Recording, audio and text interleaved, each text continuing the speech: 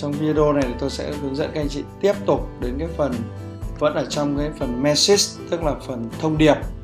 À, chúng ta đã tạo ra một cái gọi là Chris Newsletter tức là chúng ta tạo ra các bản tin hoặc là các cái nội dung email để gửi. À, nếu mà chúng ta muốn quản lý thì chúng ta sẽ vào phần My Newsletter. Và nếu như anh chị nào mà à, không dùng được tiếng Anh thì chúng ta có thể đổi sang tiếng Việt không có vấn đề gì cả nhé.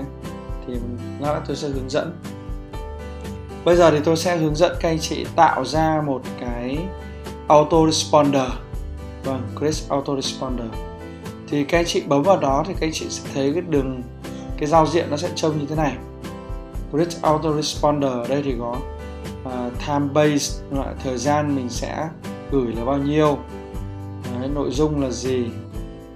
Chúng ta sẽ thấy là có một số những cái cách.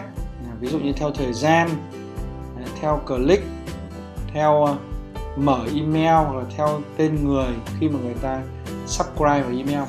Subscribe vào email là sao? Tức là khi mà các bạn vào một cái trang web, các bạn nhận một đăng ký cái thì ngay lập tức là email các bạn nổ một cái tin nhắn là à, cảm ơn bạn đã đăng ký cái này, cái kia, thì đấy là cái subscribe. Đấy, thì bất kỳ một cái subscribe nào đi vào cái chế độ nào được chưa các anh chị nhìn thấy. Hoặc là là gì ạ? Nếu đối với subscribe thì chúng ta sẽ thấy là if subscriber sign up to thu cái gì đấy thì đây nó có rất nhiều chiến dịch đúng không ạ? Ví dụ như chiến dịch fan on uh, của tôi hay là open đúng không ạ? If subscriber in cái chiến dịch nào đấy tắt hoặc là một cái chiến dịch của tôi riêng. Hay là click uh, bất kỳ một cái cái người dùng mà click vào một cái đường link nào đấy hoặc click vào cái email nào đấy chúng ta sẽ đặt gửi mail là ngay lập tức hay là độ trễ là bao lâu chúng ta có thể lựa chọn được thông điệp thì chúng ta sẽ lựa chọn những cái thông điệp mà chúng ta đã làm. Ví dụ như thế. Có đúng không ạ? Chúng ta có khá là nhiều các cái thông điệp như vậy. Thì nó tương đương với từng các chiến dịch để chúng ta gửi cho khách. Chúng ta đặt tên và chúng ta lưu trữ. Thì như vậy là tôi vừa hướng dẫn các anh chị tạo ra một cái gọi là auto responder tức là chúng ta hiểu đấy là chúng ta sẽ tạo ra một cái thư trả lời tự động đối với từng chiến dịch và đối với từng mục tiêu của các chiến dịch.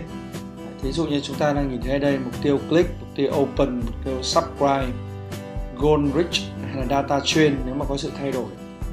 Ví dụ như một người dùng người ta vào người ta nhập dữ liệu người ta thay đổi lên thì chúng ta cũng có thể thông báo cho họ. Đó. Thì cái phần autoresponder này nó khá là ngắn và dễ như vậy thì tôi hướng dẫn nhanh như vậy các anh chị hiểu không ạ? Chúng ta cũng có thể vào phần manage autoresponder để quản lý. Ok, như vậy là tôi vừa hướng dẫn các anh chị à, rất là nhanh chóng trong cái phần liên quan đến message trong hai cái video à, như thế này.